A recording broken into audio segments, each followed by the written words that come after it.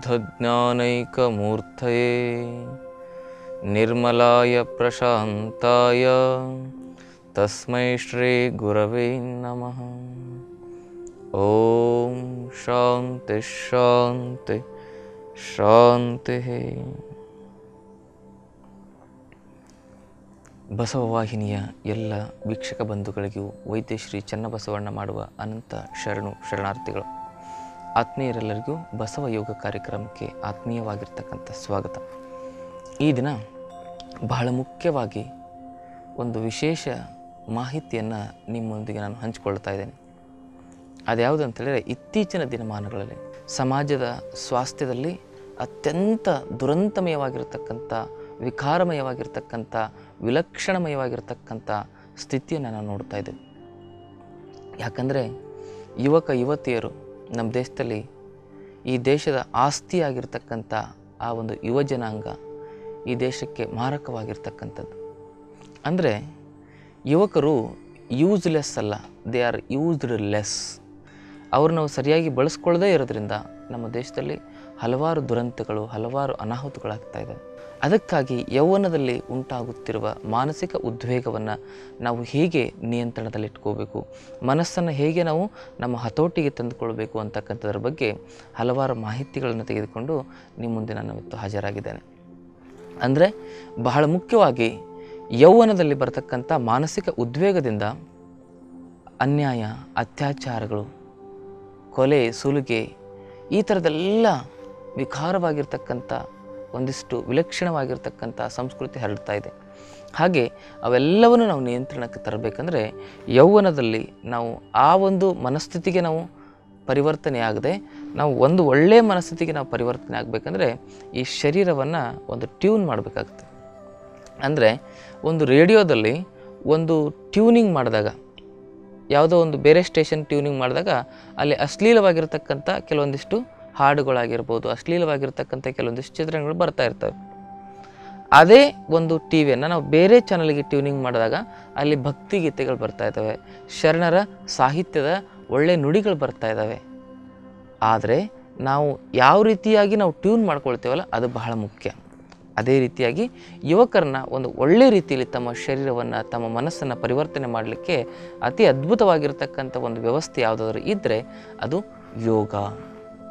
ಹಾಗಾಗಿ ನಿಮ್ಮನ್ನು ನೀವು ಯೋಗಕ್ಕೆ ಟ್ಯೂನ್ ಮಾಡ್ಕೊಂಡ್ಬಿಟ್ರೆ ನೀವು ಕೆಟ್ಟ ಪರಿಸ್ಥಿತಿಯಲ್ಲಿ ಕೆಟ್ಟ ರೀತಿಯಾಗಿರ್ತಕ್ಕಂಥ ಒಂದು ವ್ಯವಸ್ಥೆಯಲ್ಲಿ ನಿಮ್ಮನ್ನು ನೀವು ನಾಶಗೊಳಿಸ್ತಕ್ಕಂಥ ಹಲವಾರು ವಿಷಮಯವಾಗಿರ್ತಕ್ಕಂಥ ಕೆಲವೊಂದಿಷ್ಟು ಪರಿಸ್ಥಿತಿಗಳಲ್ಲಿ ನೀವು ಚೆನ್ನಾಗಿ ಬದುಕ್ಬೋದು, ಚೆನ್ನಾಗಿ ಅವುಗಳಿಂದ ಮುಕ್ತವಾಗಿ ಬದುಕ್ಬೋದು ಅಂತಕ್ಕಂಥ ಮಾತನ್ನು ಹೇಳ್ತಾ, ಯೌವನದಲ್ಲಿ ಬರುವ ಆ ಎಲ್ಲ ಮಾನಸಿಕ ವಿಕಾರಗಳನ್ನು ದೂರ ಮಾಡಲಿಕ್ಕೆ ನಾವು ಅತಿ ಅದ್ಭುತವಾಗಿರತಕ್ಕಂಥ ಯೋಗ ವಿನ್ಯಾಸವನ್ನು ನಿಮಗೆ ತೋರಿಸ್ತಾ ಇದ್ದೇವೆ.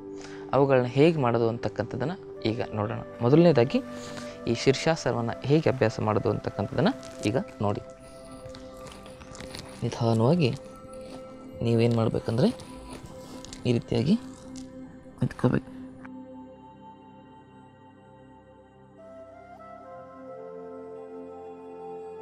ನಿಧಾನವಾಗಿ ಕಲ್ಲ ನೇರ ಮಾಡ್ಕೊಳ್ಳಿ.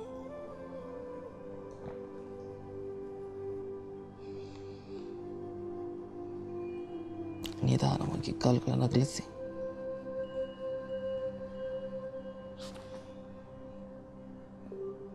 ನಮಸ್ಕರಿಸ್ತಿದೆ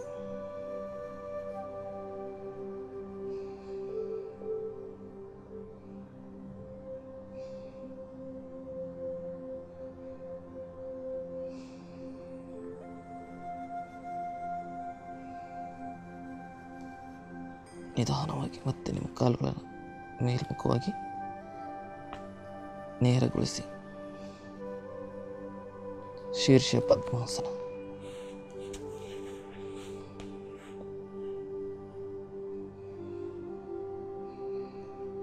ದೀರ್ಘವಾಗಿ ಉಸಿರಾಟ ಮಾಡಿ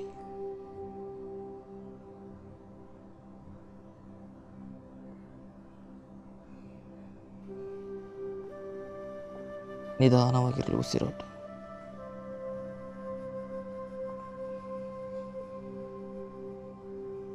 ನಿಧಾನವಾಗಿ ಎರಡು ಕಾಲುಗಳನ್ನು ಮತ್ತೆ ಅಗಲಿಸಿ ಎಡಕ್ಕೆ.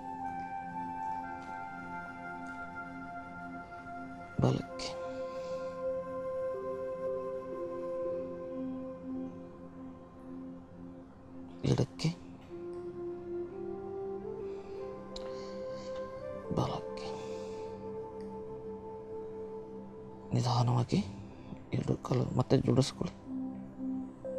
ವಾಪಸ್.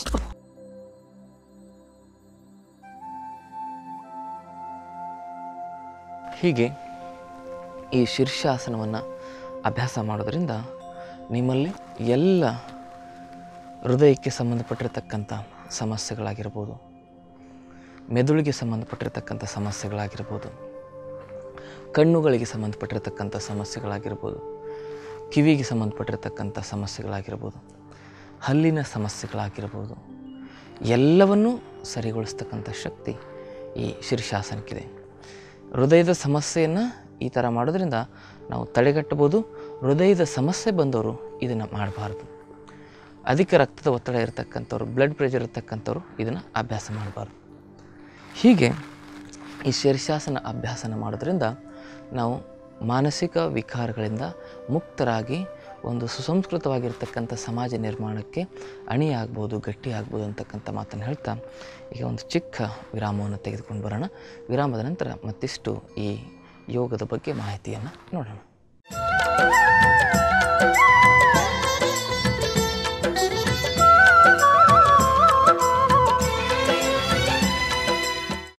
ವಿರಾಮದ ನಂತರ ತಮ್ಮೆಲ್ಲರಿಗೂ ಕಾರ್ಯಕ್ರಮಕ್ಕೆ ಮತ್ತೆ ಆತ್ಮೀಯವಾಗಿರ್ತಕ್ಕಂಥ ಸ್ವಾಗತ. ಈಗ ಬಹಳ ಮುಖ್ಯವಾಗಿ ನಾವು ಮನೋವಿಕಾರದ ಬಗ್ಗೆ ಮಾತಾಡ್ತಾ ಇದ್ದೇವೆ. ಮನಸ್ಸು ಎಲ್ಲದಕ್ಕೂ ಮೂಲ ಕಾರಣ ಅಂತ ಹೇಳ್ತಾರೆ. ಅದಕ್ಕೆ ಹೇಳ್ತಾರೆ, ಹೆಣ್ಣು ಮಾಯೆ ಎಂಬರು ಹೆಣ್ಣು ಮಾಯೆಯಲ್ಲ ಮಣ್ಣು ಮಾಯೆ ಎಂಬರು ಮಣ್ಣು ಮಾಯೆಯಲ್ಲ ಹೊನ್ನು ಮಾಯೆ ಎಂಬರು ಹೊನ್ನು ಮಾಯೆಯಲ್ಲ ಮನದ ಮುಂದಿನ ಆಸೆಯೇ ಮಾಯೆ ಕಾಣ ಗುಹೇಶ್ವರ ಅಂತ ಹೇಳ್ತಾರೆ.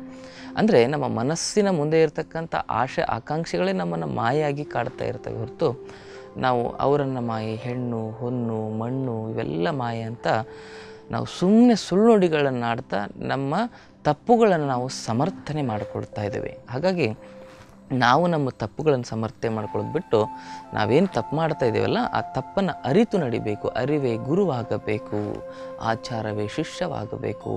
ನಮ್ಮ ಸಮಾನತೆ, ನಮ್ಮ ಯೋಗ ಸೂತ್ರವಾಗಬೇಕು ಅಂತಕ್ಕಂಥ ಮಾತನ್ನು ಹೇಳ್ತಾ, ಸಮಾಜದಲ್ಲಿ ಸಮನ್ವಯತೆ, ಸಮಾನತೆ ಬರಬೇಕಂದ್ರೆ ಬಹಳ ಮುಖ್ಯವಾಗಿ ನಾವು ಶಾರೀರಿಕವಾಗಿ, ಮಾನಸಿಕವಾಗಿ ಸ್ವಸ್ಥವಾಗಬೇಕಾಗ್ತದೆ. ಅಷ್ಟೊಂದು ಉದ್ವೇಗ ಭರಿತವಾಗಿ ನಮ್ಮ ಜೀವನವನ್ನು ನಾವು ಹಾಳು ಮಾಡಿಕೊಳ್ಳದೇ ಯೋಗಕ್ಕೆ ನಾವು ನಮ್ಮ ಜೀವನವನ್ನು ಕನೆಕ್ಟ್ ಮಾಡಿಕೊಂಡ್ರೆ ನಮ್ಮ ಜೀವನ ಭಾಳ ಚೆನ್ನಾಗಿರ್ತದೆ. ಮಾನಸಿಕ ಉದ್ವೇಗವನ್ನು ನಿಯಂತ್ರಣ ಮಾಡಲಿಕ್ಕೆ ಯುವಕರು ಇನ್ನೊಂದಿಷ್ಟು ಆಸನಗಳನ್ನು ಮಾಡಬೇಕಾಗ್ತದೆ. ಆ ಎಲ್ಲ ಆಸನಗಳು ಯಾವ ರೀತಿಯಾಗಿ ಮಾಡಬೇಕಾಗ್ತದೆ? ಅವುಗಳಿಂದ ಏನೆಲ್ಲ ಬೆನಿಫಿಟ್ ಇರ್ತದೆ ಅಂತಕ್ಕಂಥದ್ದನ್ನು ನೋಡ್ತಾ ನೋಡ್ತಾ ಇನ್ನಷ್ಟು ಯುವಕರ ಮಾನಸಿಕ ಸ್ಥಿತಿಗತಿಯನ್ನು ಬಲಿಷ್ಠಗೊಳಿಸ್ತಕ್ಕಂಥ ಆಸನಗಳು ಯಾವುವು? ಅವುಗಳನ್ನ ಹೇಗೆ ಮಾಡೋದು ಅಂತಕ್ಕಂಥದ್ದನ್ನು ಈಗ ತೋರಿಸ್ತಾ ಇದ್ದೀನಿ. ಬಹಳ ಮುಖ್ಯವಾಗಿ ನೀವು ಮಾಡಬೇಕಾಗಿರ್ತಕ್ಕಂಥದ್ದು ಏನಂತ ಹೇಳಿದ್ರೆ ಇದಕ್ಕೆ ಪದ್ಮ ಮಯೂರಾಸನ ಅಂತ ಕರೀತಾರೆ. ಈ ಪದ್ಮ ಮಯೂರಾಸನವನ್ನು ಹೇಗೆ ಮಾಡಬೇಕು ಅಂದರೆ ಮೊದಲು ಪದ್ಮಾಸನದಲ್ಲಿ ಕುತ್ಕೋಬೇಕು. ಇದರಿಂದ ಪದ್ಮಾಸನವನ್ನು ಮಾಡೋದ್ರಿಂದ ಮೈ ಮನಗಳೆಲ್ಲ ಮೃದುವಾಗ್ತವೆ. ಮತ್ತು ಪದ್ಮಾಸನ ಮಾಡೋದ್ರಿಂದ ಮನಸ್ಸು ಶಾಂತವಾಗ್ತದೆ. ಪದ್ಮಾಸನ ಮಾಡೋದ್ರಿಂದ ಮನಸ್ಸು ವಿಶಾಲವಾಗ್ತದೆ. ಪದ್ಮಾಸನ ಮಾಡೋದ್ರಿಂದ ಧ್ಯಾನ ಮತ್ತು ಜ್ಞಾನ ಸಿದ್ಧಿ ಆಗ್ತವೆ ಹಾಗಾಗಿ ಪದ್ಮ ಮಯೂರಾಸನ ಹೇಗೆ ಅಭ್ಯಾಸ ಮಾಡೋದು? ಪದ್ಮ ಮಯೂರಾಸನ ಮಾಡೋದ್ರಿಂದ ಒಂದು ದೈಹಿಕವಾಗಿರ್ತಕ್ಕಂಥ ಲಾಭಗಳು ಮತ್ತು ಮಾನಸಿಕವಾಗಿರ್ತಕ್ಕಂಥ ಲಾಭಗಳು ಎರಡೂ ಆಗ್ತವೆ. ಆ ಪದ್ಮ ಮಯೂರಾಸನದ ಅಭ್ಯಾಸವನ್ನು ನಾವು ಹೇಗೆ ಮಾಡಬೇಕು ಅಂತಕ್ಕಂಥದ್ದನ್ನು ಈಗ ನೋಡೋಣ. ಪದ್ಮಾಸನದಲ್ಲಿ ಕುಳಿತಾಗ ಹೊಟ್ಟೆ ಈ ಭಾಗದಲ್ಲಿ ನೀವೇನು ಮಾಡ್ಕೋಬೇಕಂದ್ರೆ ನಿಮ್ಮ ಕೈಗಳನ್ನು ಸ್ಪರ್ಶ ಮಾಡ್ಕೋಬೇಕು. ನಿಮ್ಮ ಕೈಗಳಲ್ಲಿ ಹೆಚ್ಚು ಬಲ ಇದ್ದರೆ ಮಾತ್ರ ಮಾಡಲಿಕ್ಕಾಗೋದು. ಇಲ್ಲಾಂದರೆ ಪ್ರಾರಂಭದಲ್ಲಿ ಇದನ್ನು ಸ್ವಲ್ಪ ಬೇರೆ ಯಾವುದರದ್ದು ಒಂದು ಸಹಾಯದೊಂದಿಗೆ ಮಾಡಬೇಕಾಗ್ತದೆ.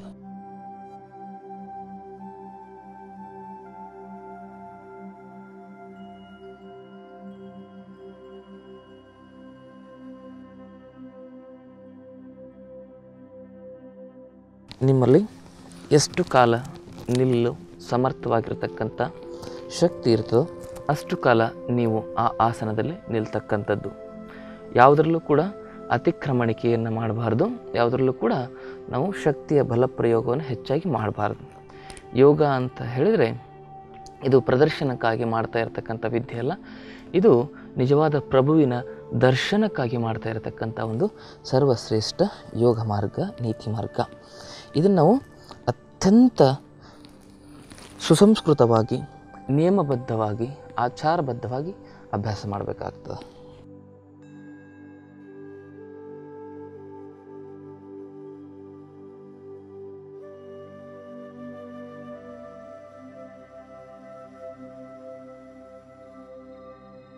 ಉಸಿರಾಟದ ಮೇಲೆ ಹೆಚ್ಚು ಗಮನ ಇರಬೇಕು.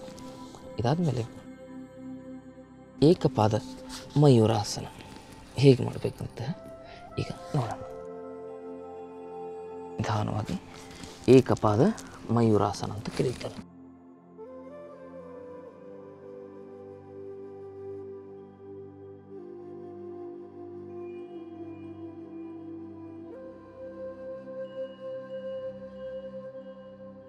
ಈ ಅಭ್ಯಾಸದಿಂದ ನಮ್ಮ ಮಾಂಸಖಂಡಗಳು ಬಲಿಷ್ಠವಾಗ್ತವೆ. ಯೋಗ ಅಂದರೆ ಕೇವಲ ಮಾಂಸಖಂಡಗಳನ್ನು ಬಲಿಷ್ಠವಾಗಿಸ್ಲಿಕ್ಕೆ ಮಾತ್ರ ಅಲ್ಲ ಯಾವುದೇ ಆಸನವನ್ನು ಮಾಡೋ ಸಂದರ್ಭದೊಳಗೆ ನಾವು ಶ್ವಾಸ ಪ್ರಶ್ವಾಸದ ಕಡೆ ಹೆಚ್ಚು ಗಮನ ಇರಬೇಕು. ಆಸನ ಮಾಡೋ ಸಂದರ್ಭದಲ್ಲಿ ಸ್ಥಿರಂ ಸುಖಂ ಆಸನ.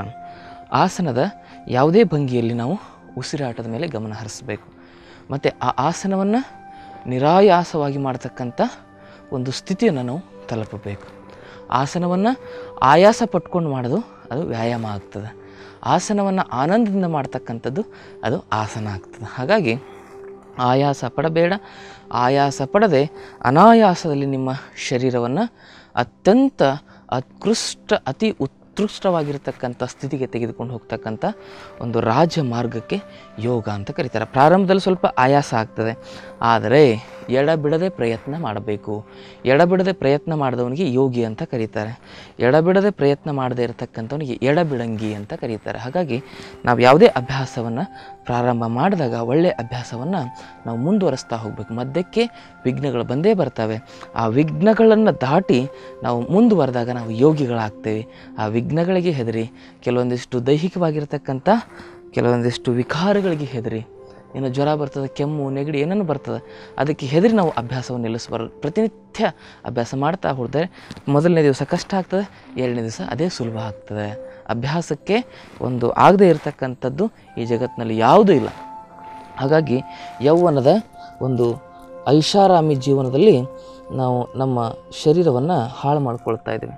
ಐಷಾರಾಮಿ ಜೀವನ ನಮ್ಮ ಜೀವನವನ್ನು ಬಹಳ ಸರ್ವನಾಶ ಮಾಡ್ತದೆ. ಹಾಗಾಗಿ ನಾವು ಸಿಂಪಲ್ ಲಿವಿಂಗ್ ಮತ್ತು ಹೈ ಥಿಂಕಿಂಗ್ ಅಂತಕ್ಕಂಥ ಸೂತ್ರದ ಕಡೆಗೆ ಬರಬೇಕು.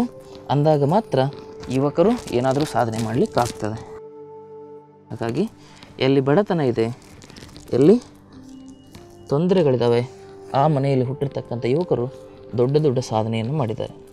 ಹಾಗಾಗಿ ನಿಮ್ಮ ಮಕ್ಕಳಿಗೆ ನೀವು ಮುಖ್ಯವಾಗಿ ಬಳಸಬೇಕಾಗಿರ್ತಕ್ಕಂಥದ್ದು ಈ ಆತ್ಮ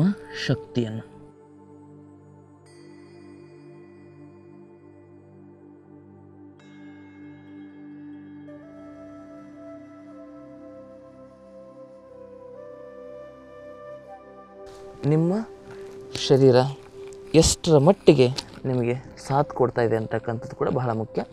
ಆದರೆ ನಿರಂತರ ಅಭ್ಯಾಸದಲ್ಲಿ ನಿಮ್ಮ ಶರೀರದ ಪರಿವರ್ತನೆ ಆಗೇ ಆಗ್ತದೆ. ಪ್ರಯತ್ನ ಮಾಡಬೇಕು.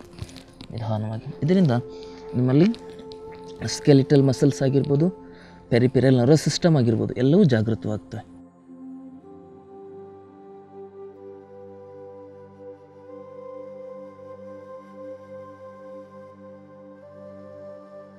ಇದು. ಇದಾದ ನಂತರ ನಿಮ್ಮ ಶರೀರದ ಸರ್ವ ಮಾಂಸಖಂಡಗಳು ನರಮಂಡಲಗಳು ಮತ್ತಿಷ್ಟು ಜಾಗೃತವಾಗಿ ಕೆಲಸ ಮಾಡಬೇಕಂದ್ರೆ ಮತ್ತೊಂದು ಆಸನವನ್ನು ಮಾಡಬೇಕಾಗ್ತದೆ. ಇದರಿಂದ ಹೊಟ್ಟೆಯ ಎಲ್ಲ ವಿಕಾರಗಳು ಮಲಬದ್ಧತೆ ಆಗಿರ್ಬೋದು, ಗ್ಯಾಸ್ಟ್ರಿಕ್ ಅಸಿಡಿಟಿ ಇವೆಲ್ಲವೂ ದೂರ ಆಗ್ತವೆ. ಅದರ ಜೊತೆಗೆ ಯುವಕರ ಮಾನಸಿಕ, ಶಾರೀರಿಕ ಬೆಳವಣಿಗೆ ಕೂಡ ಆಗ್ತದೆ. ಅದು ಯಾವ ಆಸನ ಅಂದರೆ, ಅದಕ್ಕೆ ಬಕಾಸನ ಅಂತ ಕರೀತಾರೆ.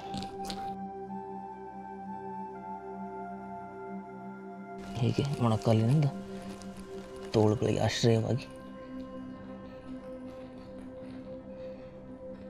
ವಾಪಸ್. ಮೊಣಕಾಲುಗಳು ತೋಳಿನ ಆಶ್ರಯದಲ್ಲಿದ್ದು ಪಾದಗಳು ನಿಧಾನವಾಗಿ ಮೇಲೆ ಏಳಬೇಕಾಗ್ತದೆ ಇದಕ್ಕೆ ಬಕಾಸನ ಅಂತ ಕರೀತಾರೆ. ಈ ಬಕಾಸನ ಅಂತಕ್ಕಂಥ ಆಸನದಿಂದ ನಮ್ಮ ಹಸಿವು ತೃಷೆ ನಿಯಂತ್ರಣಕ್ಕೆ ಬರ್ತದೆ ಇಲ್ಲಾಂದರೆ ಬಕಾಸನ ಮಾಡಲಿ ಅಂದರೆ ನಾವು ಬಕಾಸುರರಾಗಿಬಿಡ್ತೇವೆ. ಹಾಗಾಗಿ ನಾವು ಬಕಾಸುರರಾಗಬಾರ್ದು ಅಂತ ಹೇಳಿದ್ರೆ ನಾವು ಬಕಾಸನ ಮಾಡಬೇಕು. ಇದರಿಂದ ಹಸಿವು ಮತ್ತು ತೃಷೆ ಎರಡೂ ನಿಯಂತ್ರಣಕ್ಕೆ ಬರ್ತದೆ. ಎರಡೂ ನಮ್ಮಲ್ಲಿ ಏನಾಗ್ತದೆ? ಕ್ರಿಯಾಶೀಲವಾಗಿ ಎಷ್ಟು ಬೇಕೋ ಅಷ್ಟೇ ತಿಂತೀವಿ. ಇಲ್ಲಾಂದರೆ ಬರೀ ಬೆಳಗ್ಗೆಯಿಂದ ಸಾಯಂಕಾಲದವರೆಗೆ ತಿನ್ನೋದೇ ಕೆಲಸ ಕೆಲವ್ರದ್ದು.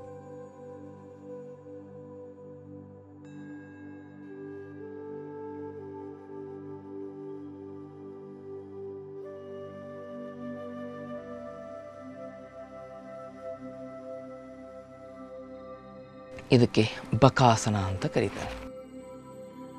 ಇದನ್ನು ನಾವು ನಿಯಮಿತವಾಗಿ ಸ್ವಲ್ಪ ಮೊದಲು ಕೈಯೆಲ್ಲ ಗಟ್ಟಿ ಮಾಡ್ಕೋಬೇಕು. ಕೈಯೆಲ್ಲ ಗಟ್ಟಿ ಮಾಡ್ಕೋಬೇಕಂದ್ರೆ ದಂಡ ಬೇಟೆ ಕಸರತ್ತು ಮಾಡಬೇಕು. ಆ ದಂಡ ಬೇಟೆ ಕಸರತ್ತು ಬಗ್ಗೆ ಹಿಂದಿನ ಸಂಚಿಕೆ ನಿಮ್ಗೆ ಹೇಳಿದ್ದೀನಿ. ಅದೆಲ್ಲವೂ ನೀವು ಅಭ್ಯಾಸ ಮಾಡಬೇಕು. ನೋಡಿ, ಈ ಶರೀರದ ಆಕೃತಿ ಮತ್ತು ಈ ಶರೀರದ ಆಚಾರ ಅಂತಕ್ಕಂಥದ್ದು ಯೋಗಕ್ಕೆ ಸೀಮಿತವಾಗಿರಬೇಕು. ಯೋಗ ಅಂದರೆ ಏನಂತ ತಿಳ್ಕೊಂಡಿದ್ದೀರಾ? ನಾನು ಮಾಡ್ತಿದ್ದ ಆಸನ ಮಾತ್ರ ಅಲ್ಲ ಯೋಗ ಅಂದರೆ. ಯೋಗ ಅಂದರೆ ಫುಡ್ ಸ್ಟೈಲ್ ಯೋಗ ಅಂದರೆ ಲೈಫ್ ಸ್ಟೈಲ್ ಯೋಗ ಅಂತ ಹೇಳಿದ್ರೆ ನಮ್ಮ ಜೀವನದ ಎಲ್ಲ ಅಂಗದಲ್ಲೂ ಕೂಡ ಅದು ವ್ಯಾಪಿಸಿಕೊಂಡಿರತಕ್ಕಂಥ ಒಂದು ಶಕ್ತಿ ಅಂತಕ್ಕಂಥದ್ದನ್ನು ನಾವು ಯಾವತ್ತೂ ಮರಿಬಾರದು ಅಂತಕ್ಕಂಥ ಮಾತನ್ನು ಹೇಳ್ತಾ, ಎಲ್ಲ ಆಸನಗಳನ್ನು ಸರಿಯಾಗಿ, ಕ್ರಮಬದ್ಧವಾಗಿ, ನಿಧಾನವಾಗಿ, ಗುರುಗಳ ಮಾರ್ಗದರ್ಶನದಲ್ಲಿ ಏನಾದ್ರು ಮಾಡಿದ್ದೇ ಆದರೆ ನಿಮ್ಮ ಮಾನಸಿಕ ವಿಕಾರಗಳು ದೂರ ಆಗೋದ್ರ ಜೊತೆಗೆ ನಿಮ್ಮ ತನು ಮನ ಭಾವಗಳು ಶುದ್ಧವಾಗಿ ನೀವು ಯಾವುದೇ ಒಂದು ಸಾಧನೆಯನ್ನು ಮಾಡಲಿಕ್ಕೆ ಒಂದು ಬಲಿಷ್ಠವಾಗಿರತಕ್ಕಂಥ ಶಕ್ತಿಯನ್ನು ಪಡಿತೀರ ಅಂತಕ್ಕಂಥ ಮಾತನ್ನು ಹೇಳ್ತಾ ಈಗ ಒಂದು ಚಿಕ್ಕ ವಿರಾಮವನ್ನು ತೆಗೆದುಕೊಂಡು ಬರ್ತಕ್ಕಂಥ ಸಮಯ.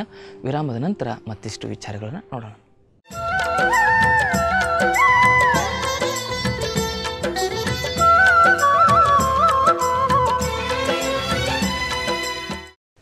ವಿರಾಮದ ನಂತರ ಕಾರ್ಯಕ್ರಮಕ್ಕೆ ಮತ್ತೆ ತಮ್ಮೆಲ್ಲರಿಗೂ ಆತ್ಮೀಯವಾಗಿರ್ತಕ್ಕಂಥ ಸ್ವಾಗತ.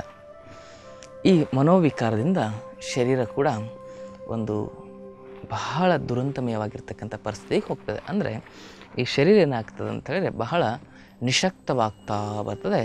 ಮತ್ತು ಇದು ಸೋಂಬೇರಿ ಆಗ್ತದೆ ಬಹಳ. ಅವ್ರಿಗೆ ಯಾವುದನ್ನು ಕೂಡ ಮಾಡ್ತಕ್ಕಂಥ ಕ್ರಿಯಾಶೀಲವಾಗಿರ್ತಕ್ಕಂಥ ಒಂದು ಸ್ಥಿತಿನೇ ಇರಲ್ಲ ದೇಹದಲ್ಲಿ. ಬಹಳ ಅಂದರೆ ಬಹಳ ಅವರು ಒಂದು ಕೆಲಸ ಮಾಡಲಿಕ್ಕೂ ಹಿಂದೆ ಮುಂದೆ ನೋಡೋದು. ಒಂದು ಮೆಟ್ಲತ್ತಿ ಮೇ, ಮೇಲೆ ಇಳಿಯಪ್ಪ, ಮೇ, ಕೆಳಗಿಳಿದು ಮೇಲೆ ಬಾರಪ್ಪ ಅಂತ ಹೇಳಿದ್ರು ಕೂಡ ಅವ್ರಿಗೆ ಅಷ್ಟೊಂದು ಜಿಗುಪ್ಸೆ ಜೀವನದಲ್ಲಿ. ಯಾಕಂದರೆ ಶರೀರದಲ್ಲಿರ್ತಕ್ಕಂಥ ಎಲ್ಲ ಕ್ರಿಯಾ ಚಟುವಟಿಕೆಗಳನ್ನು ಜಾಗೃತಗೊಳಿಸ್ತಕ್ಕಂಥ ಒಂದು ವ್ಯವಸ್ಥೆ ಏನಿದೆಯಲ್ಲ ಅದು ಸಾತ್ವಿಕ ವ್ಯವಸ್ಥೆ ಅಂತಕ್ಕಂಥದ್ದನ್ನು ನಾವು ನಾಶ ಮಾಡಿಕೊಂಡಿರ್ತೇವೆ. ಹಾಗಾಗಿ ಸಾತ್ವಿಕ ಆಹಾರ ವಿಹಾರ ಅಂತಕ್ಕಂಥದ್ದು ಕೂಡ ಬಹಳ ಮುಖ್ಯ. ಪ್ರತಿದಿನ ಬೆಳಗ್ಗೆ ಎದ್ದ ತಕ್ಷಣ ನಾವು ಯಾವುದಾದ್ರೂ ಒಂದು ಹಣ್ಣಿನ ಜ್ಯೂಸು ಅಥವಾ ಯಾವುದಾದ್ರು ಫುಲ್ಲು ಹೊಟ್ಟೆ ತುಂಬ ಎಲ್ಲ ತರಕಾರಿ ತಿಂದ್ಬಿಡೋದು ಬೆಳಗ್ಗೆ ಎದ್ದ ತಕ್ಷಣ, ಆ ಥರ ಮಾಡೋದ್ರಿಂದ ಏನಾಗ್ತದೆ ಅಂತ ಹೇಳಿದ್ರೆ ನಮ್ಮ ಮಲಮೂತ್ರಗಳೆಲ್ಲವೂ ಕೂಡ ಏನಾಗ್ತವೆ? ನಮ್ಮ ಶರೀರವನ್ನು ಪರಿಶುದ್ಧಗೊಳಿಸ್ತವೆ. ಮಲಮೂತ್ರಗಳಿಂದ ಶರೀರ ಪರಿಶುದ್ಧವಾಗಿರಬೇಕಂದ್ರೆ ನಾವು ಹೆಚ್ಚು ಹೆಚ್ಚು ಹಸಿ ತರಕಾರಿಗಳನ್ನು, ಹೆಚ್ಚು ಹೆಚ್ಚು ಈ ಪ್ರಕೃತಿ ದತ್ತವಾಗಿ ಬಂದಿರತಕ್ಕಂಥ ಆಹಾರ ಪದಾರ್ಥಗಳನ್ನು ನಾವು ಸೇವನೆ ಮಾಡಬೇಕಾಗ್ತದೆ. ಅದರ ಜೊತೆಗೆ ನಾನು ಇನ್ನೊಂದಿಷ್ಟು ವಿಷಯಗಳನ್ನು ನಿಮಗೆ ಹಂಚ್ಕೊಳ್ತಾ, ಈಗ ಯುವಕರ ಶರೀರದಲ್ಲಿ ಮತ್ತು ಮನಸ್ಸಿನಲ್ಲಿ ಬಂದಿರತಕ್ಕಂಥ ಎಲ್ಲ ವಿಕಾರಗಳನ್ನು ದೂರ ಮಾಡಿಕೊಳ್ಳಿಕ್ಕೆ, ಆ ಮೋಹದಿಂದ ಯುವಕರು ಹೊರಗಡೆ ಬರಲಿಕ್ಕೆ ಕನಿಷ್ಠ ಪಕ್ಷ ಈ ಯೋಗ ಅಭ್ಯಾಸ ಮಾಡಬೇಕು ಅಂತ ಹೇಳಿದರೆ ವಾರದಲ್ಲಿ ಒಂದು ಎರಡು ದಿವಸನಾದರೂ ಸಾತ್ವಿಕ ಆಹಾರ ತೆಗೆದುಕೊಳ್ಬೇಕು. ಸಾತ್ವಿಕ ಆಹಾರ ಅಂತ ಹೇಳಿದರೆ ತರಕಾರಿಗಳ ಜೊತೆಗೆ ಮೊಳಕೆ ಕಾಳುಗಳು. ಫುಲ್ ಅದೇ, ಹೊಟ್ಟೆ ತುಂಬ ಅದೇ ತಿನ್ನಬೇಕು ಅದ್ರ ಜೊತೆಗೆ ನೀವು ಪಪ್ಪಾಯ ಹಣ್ಣು ಯಾವುದಾದ್ರೂ ಹಣ್ಣು ತಿನ್ಬೋದು. ಆದರೆ ಹಣ್ಣನ್ನು, ಸಿಹಿ ಹಣ್ಣನ್ನು ಒಂದು ದಿವಸ ತಿನ್ನಬೇಕು ಹುಳಿ ಹಣ್ಣನ್ನು ಒಂದು ದಿವಸ ತಿನ್ನಬೇಕು ಈಗ ಮಿಕ್ಸ್ ಫ್ರೂಟ್ ಸಲೇಟ್ ಅಂತ ಕೊಡ್ತಾರೆ ನೋಡಿ, ಅದು ಬಹಳ ಡೇಂಜರಸ್ ಈ ಆರೆಂಜ್ ಜೊತೆಗೆ ಆ್ಯಪಲ್ ಏನಾದರೂ ತಿಂದುಬಿಟ್ರೆ ಅದರಂಥ ಕೆಟ್ಟ ಒಂದು ವ್ಯವಸ್ಥೆನೇ ಯಾವುದಿಲ್ಲ. ಅದರಿಂದ ಏನಾಗ್ತದೆ? ನಮ್ಮ ಲಿವರ್ ಹಾಳಾಗ್ತದೆ, ನಮ್ಮ ಕಿಡ್ನಿಗೆ ಸಮಸ್ಯೆ ಉಂಟಾಗ್ತದೆ. ನಮ್ಮ ಇಡೀ ಶರೀರದಲ್ಲಿರ್ತಕ್ಕಂಥ ಎಲ್ಲ ಒಂದು ಜೀವ ರಾಸಾಯನಿಕ ಕ್ರಿಯೆಗಳನ್ನು ಹಾಳು ಮಾಡ್ತಕ್ಕಂಥ ಒಂದು ಕೆಲಸವನ್ನು ಈ ವಿರುದ್ಧ ಪದಾರ್ಥಗಳು ಮಾಡ್ತವೆ. ಹಾಗಾಗಿ ಹುಳಿ ಹಣ್ಣಿನ ಜೊತೆಗೆ ಹುಳಿ ಹಣ್ಣನ್ನು ತಿನ್ನಬೇಕು ಸಿಹಿ ಹಣ್ಣಿನ ಜೊತೆಗೆ ಸಿಹಿ ಹಣ್ಣನ್ನು ತಿನ್ನಬೇಕು ಇನ್ನೊಂದಿಷ್ಟು ಸೂಕ್ಷ್ಮವಾಗಿರತಕ್ಕಂಥ ವಿಚಾರಗಳನ್ನು ಮತ್ತೆ ನಾನು ನಿಮಗೆ ಶೇರ್ ಮಾಡ್ಕೊಳ್ತಾ ಹೋಗ್ತೇನೆ. ಈಗ ಯುವಕರ ಒಂದು ಸರ್ವಾಂಗೀಣ ಅಭಿವೃದ್ಧಿಗಾಗಿ ಮತ್ತಿಷ್ಟು ಯೋಗಾಸನಗಳನ್ನು ಯಾವ ರೀತಿಯಾಗಿ ಮಾಡಬೇಕು ಅಂತಕ್ಕಂಥನ್ನು ಈಗ ನೋಡೋಣ ಬನ್ನಿ. ಮತ್ತೊಂದು ಯೋಗಾಸನ ಯಾವುದು ಅಂತ ಹೇಳಿದರೆ, ನಿಧಾನವಾಗಿ ನಿಮ್ಮ ಕೈಗಳನ್ನು ಈ ರೀತಿಯಾಗಿ ಕೆಳಗಡೆ ಸ್ಪರ್ಶ ಮಾಡಬೇಕು. ಇದಕ್ಕೆ ವೃಶ್ಚಿಕಾಸನ ಅಂತ ಕರೀತಾರೆ. ವೃಶ್ಚಿಕಾಸನ ಅಂತ ಹೇಳಿದ್ರೆ ಚೇಳು. ಈ ಚೇಳಿನ ಆಕೃತಿಯಲ್ಲಿ ನಮ್ಮ ಶರೀರವನ್ನು ನಾವೇನು ಮಾಡ್ಬೇಕಂತ ಹೇಳಿದ್ರೆ ತೆಗೆದುಕೊಂಡು ಬರಬೇಕು. ಅಂದಾಗ ಈ ಆಸನವನ್ನು ಮಾಡೋದ್ರಿಂದ ನಮ್ಮ ಶರೀರದಲ್ಲಿರ್ತಕ್ಕಂಥ ಎಲ್ಲ ಅಂಗಾಂಗಗಳು ವೈಬ್ರೇಟ್ ಆಗ್ತವೆ. ಈ ಆಸನ ಮಾಡಿದರೆ ಸಾಕು, ನಮ್ಮ ಶರೀರದಲ್ಲಿ ಯಾವುದೇ ರೀತಿಯಾಗಿರ್ತಕ್ಕಂಥ ವಾತ ದೋಷಗಳು ಮತ್ತು ಪಿತ್ತ ದೋಷಗಳು ಉಂಟಾಗಲಿಕ್ಕೆ ಸಾಧ್ಯನೇ ಇಲ್ಲ.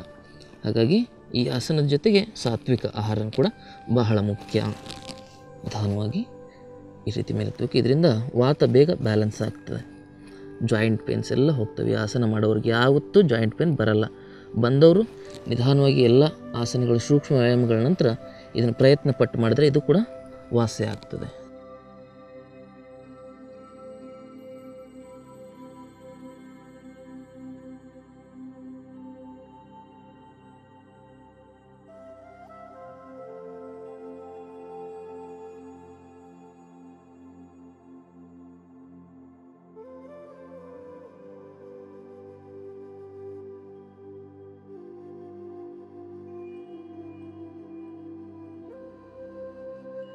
ವಾಪಸ್ ಬನ್ನಿ ಇದಕ್ಕೆ ವೃಶ್ಚಿಕಾಸನ ಅಂತ ಕರೀತಾರೆ. ಇದನ್ನು ಮಾಡೋದ್ರಿಂದ ನಿಮ್ಮ ಶರೀರದಲ್ಲಿರ್ತಕ್ಕಂಥ ಎಲ್ಲ ಜಾಯಿಂಟ್ಸ್ಗಳು ಕೂಡ ಕ್ರಿಯಾಶೀಲವಾಗ್ತವೆ. ಜಾಯಿಂಟ್ಸ್ಗಳು ಕ್ರಿಯಾಶೀಲವಾಗಿದ್ದಾಗ ನೀವು ಕ್ರಿಯಾಶೀಲವಾಗಿರ್ತೀರ. ಇನ್ನಷ್ಟು ಯೌವನದ ಸಮಸ್ಯೆಗಳನ್ನು, ಯೌವನದಲ್ಲಿ ಬರ್ತಕ್ಕಂಥ ಮೋಹ ಪಾಶಗಳ ಈ ಒಂದು ವಿಕಾರಗಳನ್ನು ನಾವು ಹೇಗೆ ಹರಿದೊಗೆದು ಹೀಗೆ ಎಲ್ಲ ಅಭ್ಯಾಸಗಳನ್ನು ನಾವು ಕ್ರಿಯಾಶೀಲವಾಗಿ, ನಿಧಾನವಾಗಿ, ನಿಯಮಬದ್ಧವಾಗಿ ಅಭ್ಯಾಸ ಮಾಡೋದರಿಂದ ನಮ್ಮ ಶರೀರ ಮತ್ತು ಮನಸ್ಸುಗಳು ಕ್ರಿಯಾಶೀಲವಾಗ್ತವೆ. ಹಾಗೂ ಈ ಯೌವನದ ವಿಕಾರಗಳನ್ನು ದೂರ ಮಾಡಿಕೊಳ್ಳಿಕ್ಕೆ ಇನ್ನಷ್ಟು ಪರಿಹಾರ ಸೂತ್ರಗಳನ್ನು ನಾಳಿನ ಕಾರ್ಯಕ್ರಮದಲ್ಲಿ ನೋಡೋಣ. ಯಾವೆಲ್ಲ ಆಸನಗಳಿಂದ ನಮ್ಮ ಮನೋವಿಕಾರಗಳನ್ನು ಸಂಪೂರ್ಣವಾಗಿ ನಾವು ದೂರ ಮಾಡ್ಕೋಬೋದು ಅಂತಕ್ಕಂಥದ್ರ ಬಗ್ಗೆ ಇನ್ನಷ್ಟು ಮಾಹಿತಿಗಳನ್ನು ನಾಳೆ ನೋಡೋಣ ಅಂತಕ್ಕಂಥ ಮಾತನ್ನು ಹೇಳ್ತಾ ಈ ದಿನದ ಕಾರ್ಯಕ್ರಮವನ್ನು ಇಲ್ಲಿಗೆ ಮುಗಿಸ್ತಾ ಇದ್ದೀನಿ. ಸರ್ವ ಶರಣ ಬಂಧುಗಳಿಗೆ ಅನಂತ ಶರಣು ಶರಣಾರ್ಥಿಗಳು.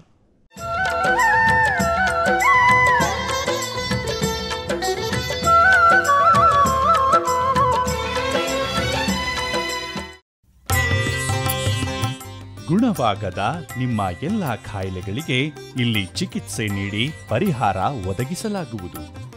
ಯೋಗ ನಿಸರ್ಗ ಚಿಕಿತ್ಸೆ ಹಾಗೂ ಆಯುರ್ವೇದ ಚಿಕಿತ್ಸಾ ತರಬೇತಿಗಾಗಿ ಸಂಪರ್ಕಿಸಿ ವೈದ್ಯ ಶ್ರೀ ಚನ್ನಬಸವಣ್ಣ, ಶ್ರೀ ಗಂಗಾ ಯೋಗ ನಿಸರ್ಗ ಚಿಕಿತ್ಸಾ ಹಾಗೂ ಆಯುರ್ವೇದ ಸಂಶೋಧನಾ ಕೇಂದ್ರ ನಂಬರ್ ಹದಿಮೂರು, ಆರನೇ ಮುಖ್ಯ ರಸ್ತೆ, ಟಾಟಾ ನಗರ ವೃತ್ತ, ಬಾಲಾಜಿ ಲೇಔಟ್, ಸಹಕಾರ ನಗರದ ಹತ್ತಿರ, ಕೊಡುಗೆಹಳ್ಳಿ ಮುಖ್ಯ ರಸ್ತೆ, ಬೆಂಗಳೂರು ಐದು ಆರು ಸೊನ್ನೆ ಸೊನ್ನೆ ಒಂಬತ್ತು ನಾಲ್ಕು. ದೂರವಾಣಿ ಸಂಖ್ಯೆ ಒಂಬತ್ತು ಒಂಬತ್ತು ಎಂಟು ಸೊನ್ನೆ ಎರಡು ಏಳು ಏಳು ಒಂಬತ್ತು ಏಳು ಮೂರು ಅಥವಾ ಏಳು ಮೂರು ಮೂರು ಏಳು ಆರು ಒಂದು ಎಂಟು ಎಂಟು ಐದು ಸೊನ್ನೆ. ಇಮೇಲ್ ವಿಳಾಸ Vaidyashree CG at Gmail dot com. Website ವಿಳಾಸ W W W dot Shri Ganga Yoga dot in.